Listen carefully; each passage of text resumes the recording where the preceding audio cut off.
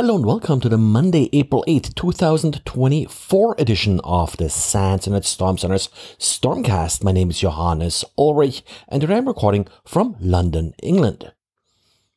As a quick reminder, today, April 7th, as I record this uh, podcast, it's also the 10th anniversary of Heartbleed.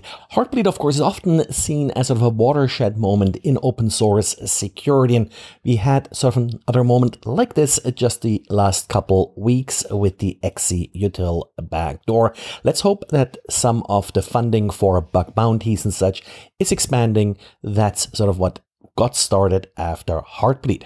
We also got another side note to this entire event, and this is another uh, merge request that the attacker who planted the XZ Util backdoor made for libarchive. Now, this particular request uh, was made November 2021, and it replaced a safe printf function with an just regular fprintf function.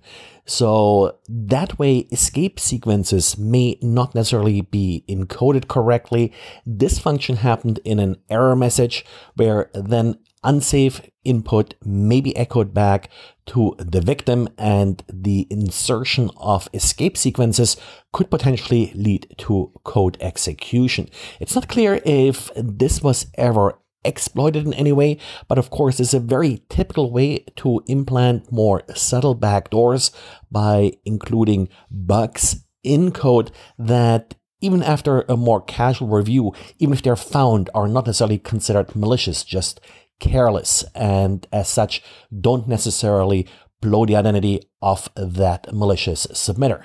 The change in libarchive has been removed, but of course that code was out for a lot longer than the XZ Util backdoor, so definitely something where updates and such need to be applied. Researchers at SANSEC have found an interesting persistent mechanism being used by attackers attacking the Magento e-commerce suite. This particular Magento backdoor takes advantage of the layout update database. This database includes code that's periodically being executed, it's XML formatted, and yes, can lead to code execution. So the attacker already compromised your system, has access to the database, and now is injecting that XML into the database to update the database and inject the backdoor each time that the checkout card is requested. That way, if the breach is discovered, the backdoor is removed, well, you're immediately being reinfected with it. Of course, this assumes somewhat sloppy incident response procedures here. And yes, it's always difficult to make sure that your system actually is free from any backdoors after it has been infected. But uh, then again, Magento is kind of designed as a system to be used by companies that aren't necessarily big, sophisticated e-commerce giants, but more smaller companies. And with that, often don't have the more sophisticated incident response capability. And ever wonder why DNS cache poisoning attacks aren't more of a deal than maybe some people think they should be? In particular, given that we have sort of a couple of large DNS providers that a good portion of the internet is using, like, for example, Google's famous 8.8.8.8 8.